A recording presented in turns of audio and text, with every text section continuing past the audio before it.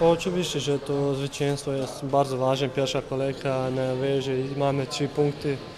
Jeszcze graliśmy mecz po pucharze, mieliśmy długą podróż i chłopacy pokazali swoje umiejętności, swój charakter, do końca walczyliśmy. To jest drugi mecz rzędu, że na ostatnim minutami strzelamy tą bramę, co nam teraz dała zwycięstwo, a w czwartek dała nam awans dalej. Myślę, że to też buduje drużynę i mam nadzieję, że tak zostanie, że, że kliniemy dobrą drogą. Znaczy na pewno bardzo ważne zwycięstwo, pierwsze spotkanie w lidze na ciężkim terenie, na wyjeździe, po meczu pucharowym, który graliśmy dwa dni temu. Naprawdę szacunek dla, dla całej drużyny, bo naprawdę w ciężkich warunkach dzisiaj, bo też było gorąco, naprawdę tego czasu na regenerację nie było zbyt dużo, ale pokazaliśmy charakter, pokazaliśmy, że można po, e, po dwóch dniach przyjechać, zagrać no niezłe spotkanie, może nie było w pełni pod naszą kontrolą, ale, ale staraliśmy się w tym spotkaniu to my mieć e, kontrolę na boisku.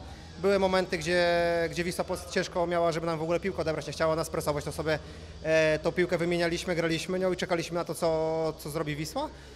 Straciliśmy bramkę w drugiej połowie, ale udało się jeszcze w końcówce pokazać charakter, stworzyć jedną, drugą sytuację, zdobyliśmy bramkę zwycięstwo.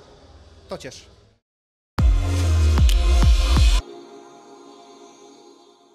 Na program zaprosił dumny sponsor Lecha Poznań Grupa A40.